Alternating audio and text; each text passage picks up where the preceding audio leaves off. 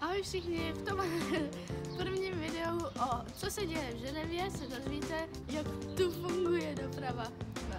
Ženeva je malé město, kde se všude dostanete hlavní hromadní dopravou nebo pěšky a na kole. Existují tři typy hromadní dopravy v Ženevě. Normálně takové lodičky, které plují po jezeře, které se jmenují Limuet, autobus a tramvaje.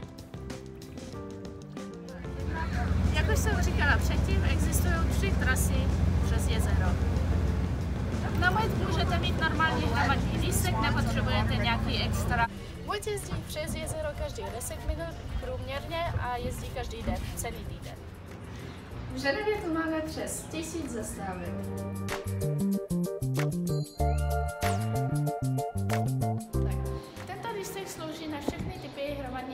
Ženevě. Lístky se můžou kupovat buď přes telefon nebo přes mašinku a můžete si taky vyzvednout na letišti lístek, když letíte letadlem sem. Abyste věděli, kde se zrovna nacházíte, tak se můžete podívat tady na Abyste zrovna věděli, kam potřebujete nebo kde se nacházíte, podívat tady na takové tabulky, které jsou na každých mašinách na lístky. Abyste si koupili lístky, tak si můžete tady vybrat. Tady máte dospělý, tady máte dětský. Můžete si vybrat, jestli chcete celou Ženevu, celý den v Ženevě, jestli chcete jenom na dvě zastávky, anebo den pro dvě osoby. Potom tady můžete uh, si kliknout, odkud jedete a kam jedete a ono vás, vám to vyhledá ten lístek, který potřebujete. Platit můžete buď kartou nebo penězmi a můžete taky si koupit lístek telefonem, když zadáte číslo 7088 TPG 1, to platí na pro dospělí na hodinu a TPG 2 pro děti taky na hodinu. Abyste věděli, kdy vám jede autobus, mohli jste si přečíst jízdní První se musíte podívat nahoru, kde je tady ta červená tečka, abyste věděli, jako, kde jste. Potom se musíte podívat sem, abyste věděli, kam se dostanete a tady máte všechny zastávky. Eh, když jedete v normálních, jako v normální sezóně a ne, nejsou prázdniny nebo nejsou nějaké svátky, tak se díváte tady od pondělí do pátku, v sobotu a v neděli.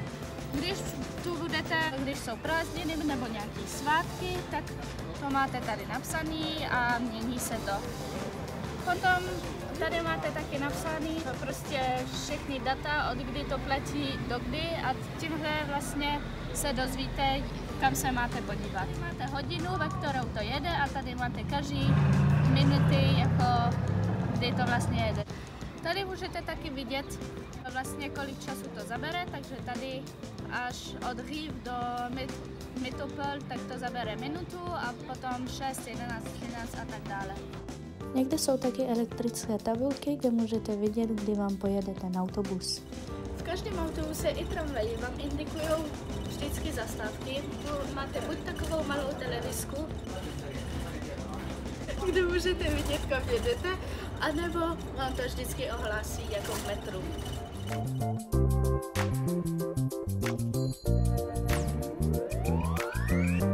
Některé autobusy jsou elektrické a některé zase ne.